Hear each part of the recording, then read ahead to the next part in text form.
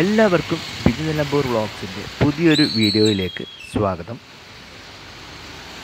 പശ്ചിമഘട്ടത്തിലെ buffer zone നിയമത്തിനെതിരെ U D F മലയോര മേഖലയിൽ ഇന്നലെ ഹർത്താൽ നടത്തിയിരുന്നു.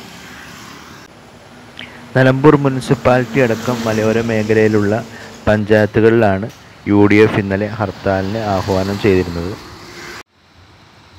K S R T C പൂർണമായി ഓടുകയും അതുപോലെ പ്രൈവറ്റ് ബസ്സുകൾ വടവറ മുതൽ സർവീസ് നടത്തുവാനുമാണ് പ്രൈവറ്റ് ഓപ്പറേറ്റേഴ്സ് അറിയിച്ചിരുന്നത്.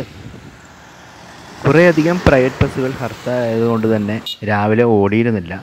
എന്നാൽ രാവിലെ എട്ട് മണി വരെ വഴിക്കടവ് നിന്നുള്ളതും നിലമ്പൂരിലേക്കും നിലമ്പൂരിൽ നിന്നുമുള്ള ബസ് സർവീസുകൾ ഓടിയിരുന്നു.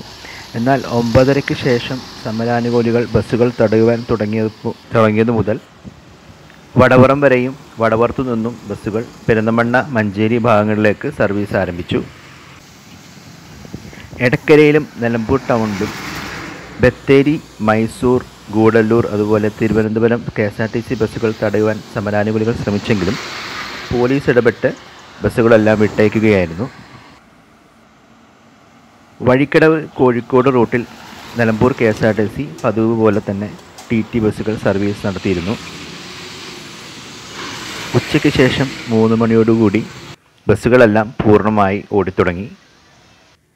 ഹർത്താലായതുകൊണ്ട് തന്നെ നിലമ്പൂർ ടൗണിലും ബസ് സ്റ്റാൻഡ് പരിസരങ്ങളിലുള്ള കടകളെല്ലാം അടവ് അടവായിരുന്നു. അതുപോലെ തന്നെ യാത്രക്കാരും വളരെയധികം കുറവായിരുന്നു.